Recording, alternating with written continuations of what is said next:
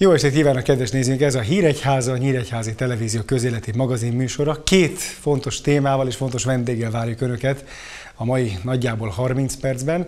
Elsőként dr. Tuzson Bencét köszönhetjük a stúdióban, közszolgálatért felelős államtitkárt, aki egy nyíregyházi rendezvényre érkezett, és ennek kapcsán exkluzív interjút adott a Nyíregyházi Televíziónak, valamint láthatnak egy beszélgetést még a Bem József általános iskola aktualitásairól Balogné Mester Éva igazgatóasszonynal. Ezt az interjút Rendes Sándor készítette. Stúdiunk vendége tehát dr. Tuzson Bence, közszolgálatért felelős államtitkár. Köszönjük szeretettel a stúdióban, köszönjük, hogy elfogadta a meghívásunkat. Én is köszönöm szépen, jó estét kívánok! És azt, hogy bele tudta illeszteni a Szoros megyei programjába ezt a nagyjából negyedórásnak ígérkező beszélgetést, melynek a fő napirendje azért mégiscsak az, hogy egy komoly kormányhivatali épület energetikai felújításának átadására érkezett. Most, ha lehet, akkor kezdjük ne a humán erőforrása, hanem az infrastruktúrával. Miért fontosak ezek? Valóban lehet, hogy kicsit messzebbről is érdemes elindulni. Most egy másfél milliárdos fejlesztésről beszélünk. Ez több épületet, összesen 29 épületet érintett a megyében. Most elérkeztünk egy fontos állomáshoz, nagyjából már majdnem a programnak a végén vagyunk, ezért érdemes eljönni és beszélni erről néhány dolgot. Már csak azért is, mert egy energetikai felül, felül, felülvizsgálatról, átépítésről beszélünk, aminek azért az ország szempontjából, az ország energiagazdálkodása szempontjából is nagy jelentősége van, hiszen ha csak a villamos energia felhasználásunkat tekintjük, ugye Magyarország körülbelül 3500 megawattnyi energiát termel meg, és hát 6000-et ebben az időszakban 6000 fölött is van a fogyasztásunk, ami azt jelenti, hogy bizony van itt egy luk még, amit eh, hát be kell tömnünk, és hát ilyenkor az államnak is érdemes élen járnia, hiszen előbb-utóbb el kell érnünk azt, hogy képesek legyünk a saját energiánkat is megtermelni. Két oldala van ennek, az épületekben van körülbelül a 40% az energiafelhasználásnak. Hogyha azt hatékonyabbá tudjuk tenni, jobbá tudjuk tenni, akkor bizony egy lépést előre tudunk menni, hogyha még a villamos energia termelésünket is egy kicsit növelni tudjuk, akkor még előbbre tudunk jutni, tehát jó irányba haladunk. Ez az egyik fele. A másik fele pedig az, hogy bizony nem csak az ügyfelek számára, hanem a kollégák számára is olyan munkahelyet kell teremteni, amiben jó dolgozni. És azért, hogyha energia szempontjából, de az energiához kapcsolódóan pedig a munkahely megújítása szempontjából is előre tudunk lépni, azt megint csak egy jó dolog, hiszen jó munkát csak ott lehet elvárni, ahol a körülmények is jók. Tehát magyarul nőjön az ott dolgozó komfortérzete is, de ön folyamatosan azt kommunikálja, hogy az egyik legfontosabb cél a közigazgatás folyamatosan zajló reformjában, hogy az ügyfelek érezzék jól magukat, vagy talán ne is kelljen bemenniük sokszor. Valóban, hogy az ügyfél szempontjából pedig az a lényeges, hogy szinte ne is emlékezzen az ügyintézésre. Ennek persze több oldala van, vagy több oldalról is meg lehet közelíteni. Hogyha gyors az ügyintézés, jó helyen vannak a kormányablakok, akkor bizony tényleg arról beszélhetünk, hogy másnap már nem is emlékszik az ügyféle arra, hogy elvégezte a saját dolgát, megújította a személyigazolványát, útlevelet csináltatott.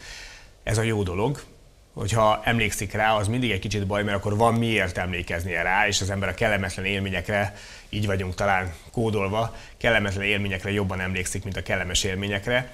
Tehát, hogyha nem emlékeznek az ügyfelek az ügyintézésre, akkor ez már sokkal jobb. Ennél csak egy dolog, jobb dolog van, hogyha egyáltalán nem is kell ügyet intézni.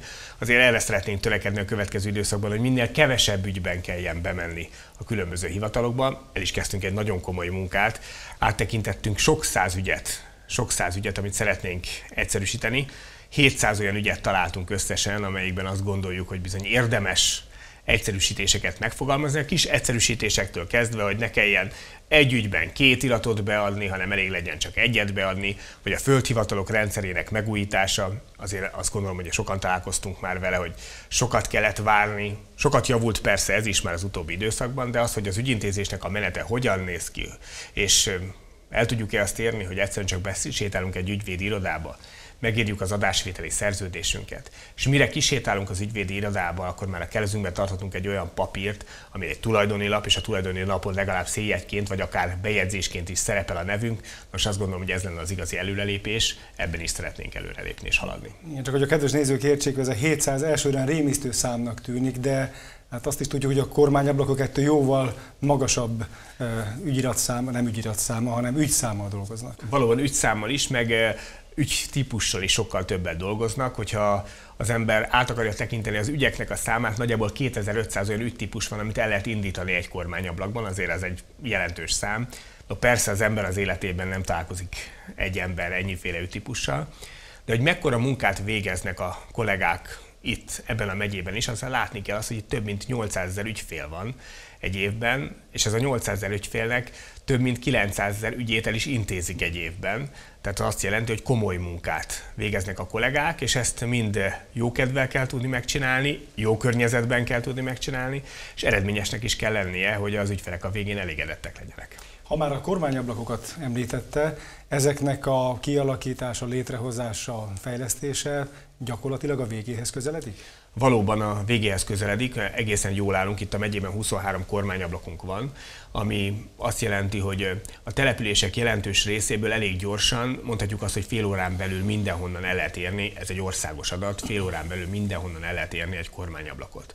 Az ügyintézés is gyors, itt a megyében egyébként az ügyintézés gyorsabb is, mint az országos átlag, hiszen 8 perc, 38 másodperc az ügyintézési idő átlagosan országosan, itt 8 perc alatt vagyunk, 7 és fél perc körül már minden ügy el van intézve, ez természetesen egy átlagos adat, nyilván van ennél gyorsabb, meg lassabb ügyintézés is, de azt jelenti, hogy a megyében a megyei kollégák, a kormány megbízottunk bizony jó munkát végez, gratulálok is neki ehhez.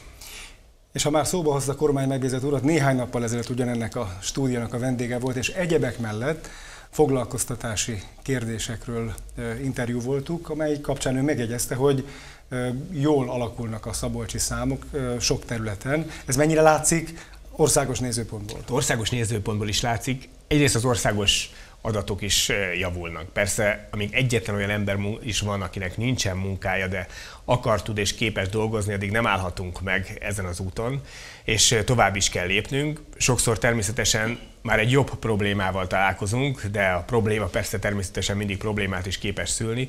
Egyre kevesebb a munkát kereső ember, ugyanakkor a másik oldalon meg megjelenik az előteljes munkaerő kereslet, azaz nincs elég ember ahhoz, hogy bizonyos munkákat el lehessen végezni. Természetesen ez egyik oldalról jó, hiszen a vállalatokra, cégekre is egy nyomást helyez, a bérek tekintetében is, tehát nőnek a bérek, a másik oldalról pedig az, hogy a technológiát fejleszték, tehát modernebb technológia legyen Magyarországon, ez az iparnak a termelékenységét tudja növelni, ez az ország versenyképességét fogja tudni növelni, és hát fogyasztói oldalról természetesen a magyar emberek oldaláról az árakat tudja lefele is befolyásolni. Szóval ezek mind azt gondolom, hogy jelentős dolgok, és ebben a megyében is egyre jobban állunk. Itt azért még van mit tenni, és van mit dolgozni a következő időszakban, de a megyei adatok is az országos átlaghoz képest is gyorsabb ütemben javultak, hiszen a megye nagyobbat lépett előre saját magához képest, mint az ország egészen. A megengedi államtitkár ezen a szektoron belül van egy nagyon fontos rész, ami még mindig az, a közfoglalkoztatás. Ugye friss példát mondhatok, néhány órával ezelőtt tárgyalta a Nyíregyháza közgyűlése a, a város büdzséjét, és ott is elhangzott, hogy kevesebbet kér az önkormányzat ennek a finanszírozására. És fölmerült a kérdés, hogy vajon miért? Ebből látszik, hogy egyébként egy jó program volt a közfoglalkoztatási program, és egy jó program mai napig is. Hiszen ennek az alapvető célja az, hogy azokat az embereket, akik eh, talán már régóta nem dolgoztak, azokat visszavezesse a munkának a világába. A munkavilág alatt azt értem, hogy a rendes piaci körülmények közé visszavezesse, és ott magasabb bérér, mint a közfoglalkoztatásban lehessen dolgozni. Aki belépett a közfoglalkoztatási rendszerbe, annak az emberek, azoknak az embereknek a jelentős része aztán tovább lépett, és a piacon, tehát a rendes piacon kaptak munkát. Ezt a programot ebből a szempontból folytatni is kell. Itt ezen a területen van is még keresni valója egyébként ennek a programnak. Van az országnak olyan része, ahol már bizony nagyon nehéz olyan embereket találni, akik részt kívánnak venni, vagy részt tudnak venni a közfoglalkoztatásban, de én azt gondolom, hogy az ilyen programokat, amíg még olyan ember van, akinek ezzel segíteni tudunk, mindenképpen folytatni kell. Hozzátéve, hogy azért ez egy értékteremtő ágazat. Igaz, itt a megyében is nagyon nívós kiállítás rendezünk, nem is először, a közfoglalkoztatottak által előállított javakból, termékekből. Persze, tehát a munka, az emberek munkája, hogyha az ember tud munkát végezni, akkor annak mindig az a vége, hogy bizony egyfajta megbecsüléssel is jár. És talán nem is mindig egy ember munkája, hanem több ember munkája jár megbecsüléssel, de az igazi megbecsülés ezeknek az embereknek az, hogy rájuk találnak, és bizony felismerik mások is, hogy az a az ember, az a munka, az egy értékes ember és egy értékes munka, és ezáltal aztán a piac is segítséget nyújt, és annak az élete, akinek talán néhány évvel ezelőtt egyáltalán nem volt munkája, egy teljes értékű életé tud válni. Államtitkár ugye nem is olyan túlzottan régen a kormányzati kommunikáció volt a fő szakterülete. és mostani megbizatása kapcsán és több ünnepi beszédben szívesen említi azt, hogy Szeretnék azt elérni, nyilván kormányzati elhatározás ez, hogy a következő 20-30 évben Magyarország Európa egyik legélhetőbb országa legyen. Mik lehetnek ennek a sarokkövei? Valóban azt gondolom, hogy ez közös társadalmi célunk, és talán mindannyian így is gondoljuk ezt, hogy akkor jó Magyarországnak, hogyha ez egy jó, egy élhető ország. De ahhoz, hogy ezt elérjük, valóban sok területen előre kell lépnünk, és én három területet szoktam ezzel kapcsolatban kiemelni. Az egyik ilyen terület, hogy a családtámogatásoknak a rendszere, hogy Magyarországon legyenek gyerekek, és ők legyenek képesek építeni Magyarországnak a jövőjét. Egy csökkenő népességű ország bizony nem nagyon beszélhet a saját jövőjéről, hát ezt a tendenciát kell megfordítanunk. Ezt a családtámogatásokkal szeretnénk elérni, nem pedig különböző európai, más európai megoldásokkal vannak olyan országok, mint most már mindannyian tudjuk, akik bevándorlással próbálják ezt elérni több-kevesebb, de inkább kevesebb sikerrel tudják ezt a problémát megoldani. Mi azt szeretnénk, hogyha ezt belső előfolással oldanánk meg, és ehhez kapcsolódik egyébként a kultúráknak a megtartása és megerősítése is. Azt a kultúrát, amit mi örököltünk, őseinktől örököltünk, azt bizony minden generációnak, hogy Kodály Zoltán mondta, újra is kell teremtenie, de azt a segítséget nekünk is meg kell adnunk a saját gyerekeinknek és utódainknak, hogy ezt képesek legyenek újra teremteni, hiszen valamilyen hagyományra mindig minden kultúra épít, a milyen kis építésre ez most már több évezredes hagyomány. És hát a harmadik ilyen terület az a gazdaság és a gazdaság fejlesztésének területe. Itt is van feladatunk, hiszen láthattuk az utóbbi időszakban is, hogy az az ország, ami nem képes a saját lábán megállni, nincsen saját ereje, hogy meg tudja gazdaságilag is védeni önmagát, az egy kiszolgáltatott ország. Kiszolgáltatottá válik más országoknak is, más nagy szervezeteknek, nagy cégeknek is, és nemzetközi szervezeteknek is. Láttunk már példát arra, amikor az IMF megszorongatta ilyen szempontból Magyarországot, nem volt Magyarországnak valós gazdasági önállósága, gazdasági ereje. Hogyha gazdaságilag erős az ország, akkor annak a mozgása is erőteljesebb, van saját mozgása, és el tudja dönteni azt, hogy a saját jövője milyen lehet. És amikor a közigazgatás fejlesztéséről beszélünk, akkor mindig szem előtt kell tartanunk ezeket a kérdéseket, hogy arra kell gondolnunk, hogy valóban egy érhető országá váljunk, és hogyha érszeg, élhető ország vagyunk, akkor bizony a közigazgatásunknak is abba az irányba kell haladnia, hogy erősítsük meg a kultúránkat, erősítsük meg a családtámogatási rendszert, és erősítsük meg a gazdaságot is. Tehát az ország versenyképességén is próbáljon a közigazgatás segíteni. És hogyha hozzányúlunk a közigazgatás rendszeréhez, akár szervezeti szinten, akár az ügyek szintjén, akkor mindig ezeket a célokat kell szem előtt tartanunk, mert hogyha egy országnak nincs egy nagy célja, akkor előbb-utóbb abból összevisszaság lesz. Semmilyen területhez nem szabad úgy hozzányúlni, hogyha az ember nem tudja, hogy összességében mit akar. De én azt gondolom, hogy a magyar emberek közössége ebben egységes, és bizony mi magyarok tudjuk, hogy összességében szeretnénk egy élhető országot, és jó irányba haladunk e tekintetben, és hogyha egy élhető, élhetőbb ország lesz Magyarország, akkor mindenki érteni is fogja azt, hogy akár a kormányzat, akár az egyén szintén mindannyian mit cselekszünk. Államtitkár ez tulajdonképpen az interjú vége is lehetne, hiszen az év végére értünk visszatérve az alaptéma az a közigazgatáshoz, de nyíregyházi riporterként, ha még csak röviden is, de nem hagyhatok egy kérdést, eh, hogy feltennék. Hát ugye a, az ön ősi neve az Nyíregyházán jól ismert, hiszen egy intézmény is viseli, és innen átadom a szót. Valóban eh, ugye a Tuzson János eh, botanikus kert itt Nyíregyházán működik már jó néhány évvel ezelőtt, még Hát én még egész fiatal voltam, amikor ezt a nevet megkapta, a dédapámról van szó. Én büszke vagyok arra, hogy a város felvette, a városban ez az intézmény felvette a dédapámnak a nevét. Remélem az intézmény, meg a dédapám és a saját magam is rá tudok erre szolgálni, hogy ezt a megbecsülést, amit a város ilyen szempontból adott az én őseimnek, azt valamilyen formában Nyíregyházának én is a saját magam nevében vissza tudjam adni. Egyrészt hálával, köszönettel, és hát természetesen azzal is, ez a jó országgyűlési képviselők és a jó polgármester is kezd természetesen, hogy ahol tudok, én is szeretnék segíteni a városnak. Úgy érzem, itt van három pont a mondat végén, úgyhogy adott esetben majd szívesen folytatjuk. Köszönjük szépen a titkár Én is köszönöm, hogy itt lehettem. Kedves nézőink, időről időre meginvitáljuk a Híregyháza stúdiójába a városi önkormányzati cégek, intézmények, akár oktatási intézmények vezetőit, hogy az aktualitásokról tájékozódjunk. Most a Bem József általános iskola került sorra, Balogné mesterébe igazgatóasszonynal Rendes Sándor beszélgetett. igazgató asszony, köszönjük, hogy itt vagy velünk. Hát a BEM-ről bármelyik időpillanatban tudnánk eh, beszélni, még a szünidőben is, mert akkor is vannak mindenféle elfoglaltságok, amit a gyerekeknek nyújtottuk, de hát ilyenkor a beiskolázási időszak eh, kapcsán azért évente egyszer szoktunk itt rendezvút adni egymásnak, természetesen háztartási felügyelet mellett, ezt is tegyük hozzá. Szóval mik most az aktualitások? Mind dolgoztok, eh, van egy pályázat, ami éppen a finisébe érkezett, ha én jól tudom, ez miről szólt? Exportról? Igen, igen, igen, ez a Fit Egészség egységes nemzetért tártkapus program keretében pályáztunk. Igazából az iskolánk Diáksport Egyesülete pályázott, a BEMDS-e, de a pályázat keretében nyilvánvalóan a BEMES gyerekek ö, részesülnek. Nagyon sok minden olyan pozitív dolog van, ami plusz lehetőséget ad a sportolásra, hiszen hát egyébként is a BEMES egy sportos iskola, ez a tömegsport támogatására íródott ki ez a pályázat, amit megpályáztunk, és 1 millió 300 ezer forintot nyertünk ezen pályázat kapcsán, amit 20 héten keresztül nagyon aktív mozgásra ösztönözte a gyerekeinket, hiszen 20 héten keresztül azt vállaltuk, hogy minimum 1300 gyereket megmozgatunk, ez azt gondolom, hogy most a, így a vége felé elmondhatom, hogy ez sikerült is nekünk. Nem 1300, azt gondolom, hogy sokkal több aktivitást tudhatunk magunk mögött, és ami nagy öröm számunkra, hogy a szülőket is sikerült bevonni. Ezt akartam kérdezni, hogy a magamfajta lusta szülőket is sikerült Igen, a családi sportnapon sikerült a szülőket, és hiszen ez a program elindult már szeptemberben, és nyilván folyamatosan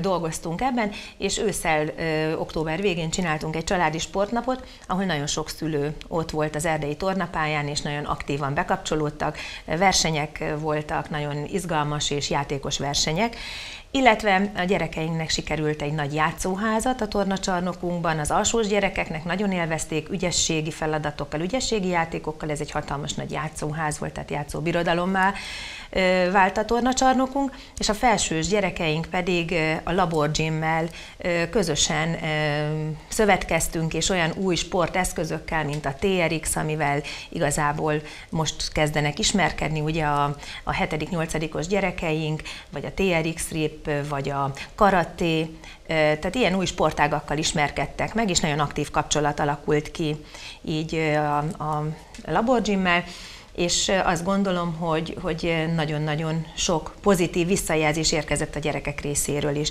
ezen program kapcsán. Fontos a mozgás, ezt tudjuk, ugye a mindennapos testnevelés bevezetésével Igen. kapcsolatban ez a, top témák között van az általános iskolai oktató nevelő munkában, de az is nagyon fontos, hogy a szabadidőben hogyan mozgatják meg a gyerekeket. Hát tudjuk, hogy a gyerekeknek a, motoros mozgása az a mobiltelefon legyezésből áll legfőképpen a folyosókon. Ezt igyekszünk egy kicsit ebből ki kell szakítani őket, és megmutatni igen, nekik, igen. hogy a mozgás azért a szabad időben is egy nagyon fontos tevékenység. Ami nagy öröm számomra, hogy a kollégákat is sikerült megmozgatni egy picit, hiszen ezen program keretében még a kolléganők is bekapcsolódtak aktívan, és, és sokan, akik eddig nem igazán mozogtak, most, most elkezdtek.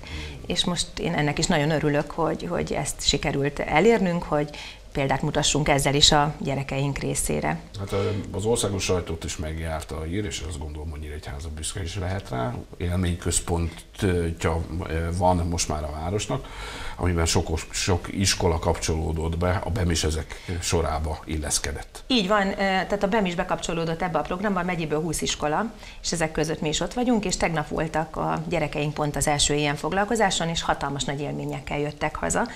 Úgyhogy azt gondolom, hogy az élmény alapú oktatás, ami a, az új nagy szerint is nagyon-nagyon fontos, hát mi szerintünk is, mert nyilván amit látunk, hallunk, tapasztalunk, az az, az ami megmarad és maradandó. Úgyhogy próbálunk mi is nagyon ebbe az irányba elmozdulni, ezért örültünk ennek a sportos pályázatnak is, hiszen itt is olyan élményeket szereztek a gyerekek, amit reméljük, hogy tovább visznek, és majd szívesen fognak ezen túl szabad idejükben is edzeni, sportolni. És ugyanez a biológia, matematika, kémia, fizika területén ebben az élményközpontban mindenre van lehetőség, hogy megfogja, lássa, tapasztalja, érezze, szagolja, és ezt is nagyon örülünk neki, hogy sikerült ebbe az ötödik és hatodik osztályosainkat bevonni. Hát ugye itt nem is a gyerekek az első számú kérdés, mert ők erre abszolút fogékonyak Igen. és nyitottak, Igen. sőt, hát ugye a virtuális világban élik a mindennapjaiknak javarészét, de hát ez egy kihívás a tanári kar részéről részéről is, hogy ezeket a lehetőségeket, ami például az élményközpontban van, vagy a informatika adta lehetőségeket a tanórán, hogyan tudják beépíteni a tananyagba úgy, hogy a gyerekeknek az érdeklődésen, de csak felkeltődjön, hanem meg is maradjon. Szóval ez egy szép kihívás a tanári kar részéről. Igen, úgy gondolom nekünk nagy szerencsénk az, hogyha lehet ezt szerencsének mondani, hogy így a városközpontból mi nagyon sok mindent nagyon könnyen elérünk. Tehát én azt szoktam mondani, hogy ha két fedőt összeütnek a városban, bemes gyerekek biztos ott vannak, mert hát könnyen is nagyon-nagyon érdeklődően a kollégák úgy állnak hozzá, és elviszük a gyerekeket, és azt gondolom nagyon nyitottak is a gyerekeink pontosan emiatt. Egyébként a Falu Múzeummal is most egy nagy projektben vagyunk, ami szintén az élmény központusághoz kapcsolódik, erről még nem beszélek, mert ez még ilyen folyamatban lévő dolog, viszont már volt korábban is ilyen pályázatunk, amit a Falu Múzeummal együtt nyertünk, és az is nagyon nagy sikerrel zajlott, úgyhogy azt gondolom, hogy mindenképpen nyitottak vagyunk, nagyon sok tehetséges gyerek jár hozzánk, és éppen ezért most egy szeretnénk tehetségpont lenni, tehát ebbe az irányba is elmozdultunk, úgyhogy a tehetségpontra a regisztráció már meg is történt, és igyekszünk nem csak az angol, nem csak a, a sport terén, hanem a művészetek, az énekzene, hála jó Istennek olyan nyitottak a kollégáink, és olyan jó pedagógusaink vannak az iskolában, hogy minden téren megpróbálják a gyerekeknek a tehetségét felkutatni, úgyhogy van is olyan kollégánk, aki kifejezetten ezzel foglalkozik, a tehetséggondozással, és ezért most próbáltunk regisztrálni tehetségpontként, és szeretnénk hosszú távon ez a tervünk, hogy akreditált tehetségpont lenni. Hát sok sikert. Én mondok egy másik végletet. Itt a technika 21. század, drónröptetés és kémiai kísérletek 21 századi megvalósítása az élményközpontban.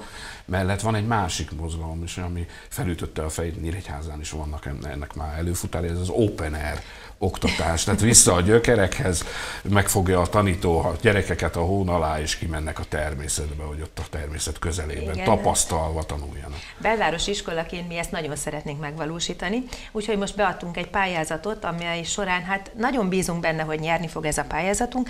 Egy ilyen open air tantermet szeretnénk kialakítani, és hát ilyen nagyon komoly elképzelésünk vannak, hiszen pályáztunk ezen kívül még egy kültéri hordozható interaktív táblára és tabletekre, és az elképzeléseink szerint az udvaron alakítanánk ki egy ilyen kis tantermet, ahol, ahol jó időben nyilván a gyerekek természetközelben tudnának tanulni, és azt gondolom, hogy ez egy nagyon-nagyon szép és jó dolog lenne, hogyha ez sikerülne, úgyhogy nagyon szurkolunk, hogy ez a pályázat nyerjen. Az egyik legnépszerűbb pontja Valószínű. Lesz, csak azért is, mert erős wifi-vel kell felszerelni ahhoz, hogy az oktatás Igen, online is tudjon működni. Szeretnénk, ez egy 5 millió forintos pályázat, úgyhogy nagyon bízunk benne, hogy, hogy ez nyitott fülekre talál, Mi nyitott szemekre és, és sikerülni fog. Úgyhogy... Hát akkor így a végére beszéljünk arról is, ami most a legaktuálisabb, a beiskolázási időszak. Hát sokan kötődnek a BEM-hez nyilvánvalóan az ott végzettek is szeretnék a gyerekeiket odavinni, de hát van egyfajta szűkössége ennek, hát nyilvánvalóan most hány osztály fog elindulni? Három. Három osztály, Három osztály. az már egy elég szép létszámban.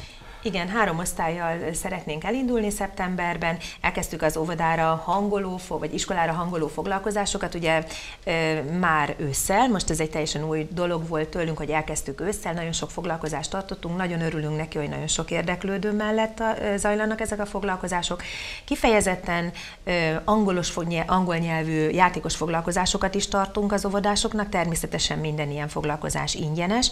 A legközelebbi február 22-én lesz, az iskolánk honlapján, Facebook oldalán lehet erről tájékozódni, és nagyon játékos formában a gyerekek nagyon nagy örömmel jönnek ezekre a foglalkozásokra, és, és megpróbáljuk egy kicsit hozzászokatni az iskola légköréhez a gyerekeket, és azt gondolom, hogy ez, ez nagyon fontos, hogy, hogy szépen meg lassan... Meg ezt a rengeteg lehetőséget, amiről például nem beszéltünk, a Vöröskereszt bázisiskola, ugye a a BEM sportban, kézilabdában, ugye nagyon erős hagyományokkal rendelkezik, amit szeretnétek folytatni, mondom, a továbbiakban. Mindenképpen a Vörös Kereszt bázisiskolájaként azért nagyon-nagyon sok pozitív dolgot tudunk a gyerekeknek adni.